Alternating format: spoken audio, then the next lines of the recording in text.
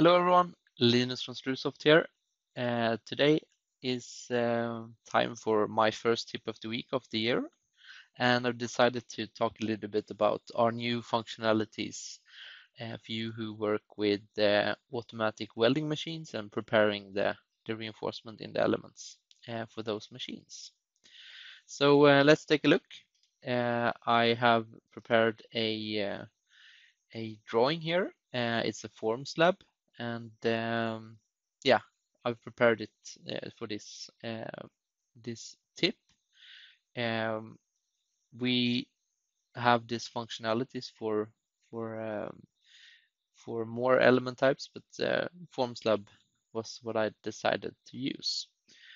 Um, and before we go into the details, the producibility check is uh, basically, yeah, the reason for that we have it is that the machines that are welding the meshes are uh, having some specific uh, requirements. For instance, the distance between the, the elements here or the bars, the grid, um, the diameter that the machine can handle, and a lot of other things.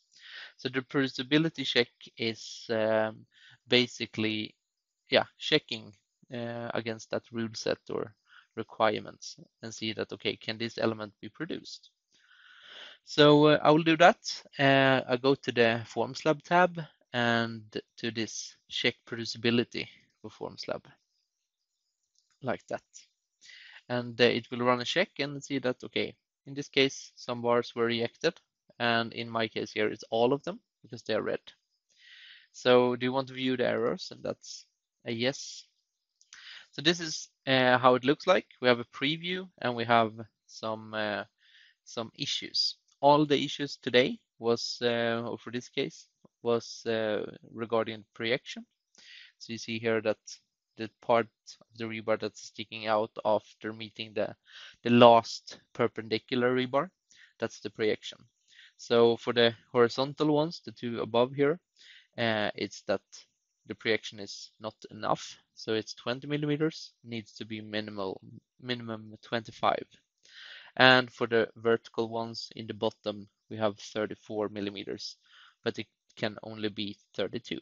So we need to fix that later.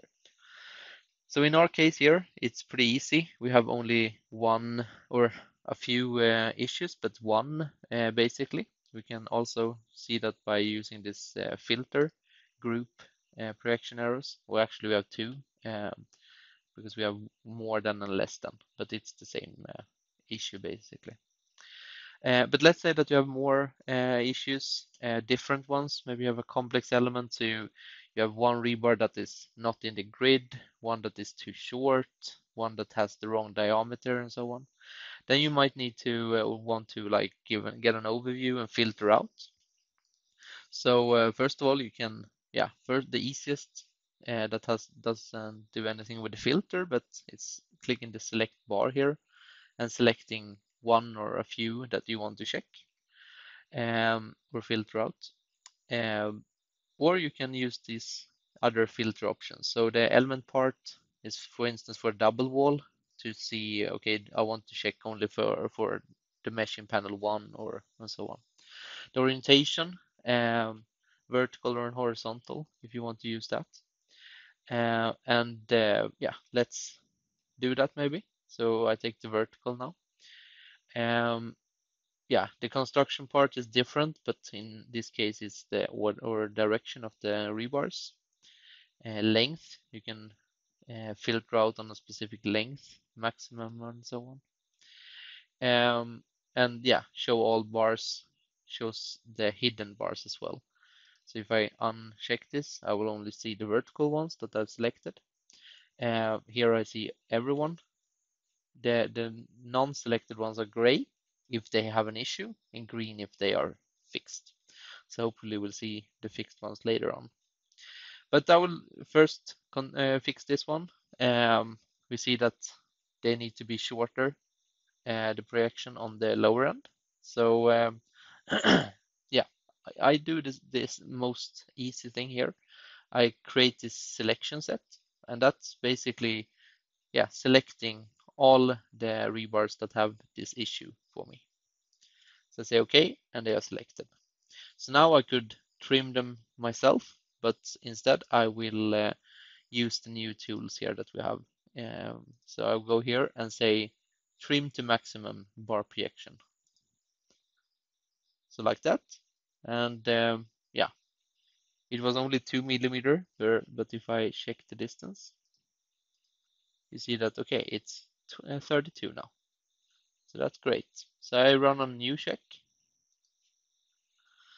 Of course, I can fix all or many issues in the same uh, same time, but I want to show you the differences here. So now when I do the check, I get this green because now they are fine for the machinery.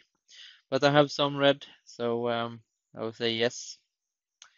And now we see here that when showing all bars, we see the green ones in uh, that are correct before they were gray.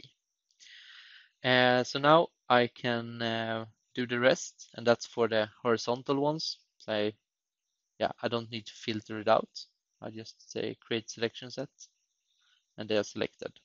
And these were not too too long, but they were too short, so I need to extend them, not trim them.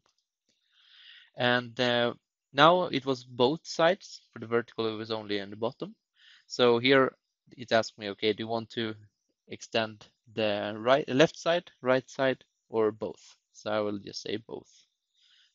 And I'll run a check again.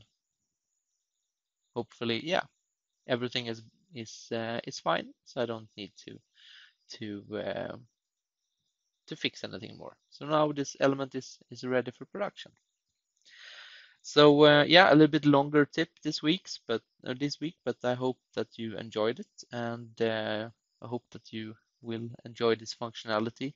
Uh, it's it's a good improvement since uh, or compared to what we had previously. So with this, I want to thank you for your attention, and uh, yeah, have a great day ahead, and um, see you soon with another nice tip.